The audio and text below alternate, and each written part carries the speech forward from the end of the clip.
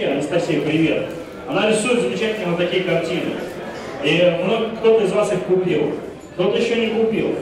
Но мы решили двинуться дальше и сделать виртуальную реальность на блокчейне. Как бы это смешно не звучало. Значит, у нас это получилось. А, и вы можете посмотреть все картины, которые рисовала Анастасия в нашей виртуальной галерее, вот это проект Биариум вместе с Криптушак. Поэтому я всех приглашаю туда. Ну а теперь а, давайте поговорим немножко о аутсменеджменте. Я постараюсь быть э, кратким, чтобы оставить время остальным выступающим. Я думаю, они много интересного расскажут. А, дело в том, что wealth management начался как история про богатых людей, про людей. Да? Это очень важно.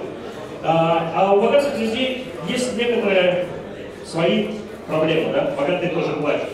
Первая проблема, то, что все люди живут где-то в каких-то территориях, в каких-то юрисдикциях. И в каких-то в этих юрисдикциях есть законодательство, в том числе есть налоги. В разных юрисдикциях они разные. Соответственно, многие продукты Wealth Management, они как раз направлены на то, чтобы решать эти проблемы. Вторая проблема заключается в том, что все мы живем, все мы как бы пользуемся жизнью, да? А у жизни есть один недостаток. Она заканчивается всегда одинаково.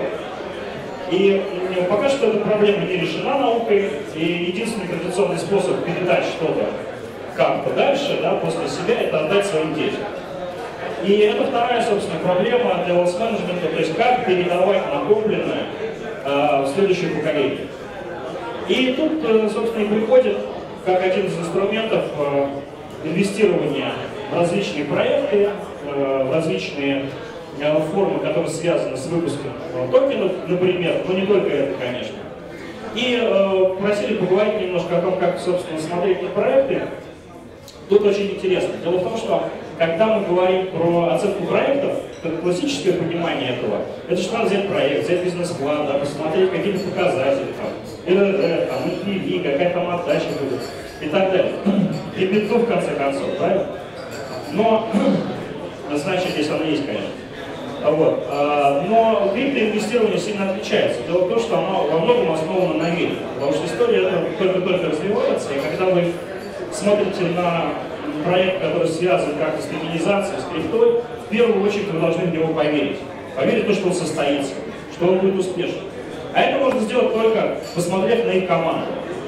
А, поняв, насколько эта команда может это сделать. Посмотреть, какие за этой командой стоят люди, какие стоят адвайзеры.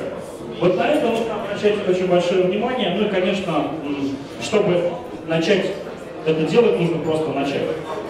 А второй момент просто напрашивается сказать, небольшой лайфхак, что э, всякие проекты, которые выпускают свои токены, в них очень хорошо фиксировать э, курс биткоина, например. То есть, если вы на высоком курсе заходите туда, то вы его фактически фиксируете. Поэтому тоже можно на это посмотреть.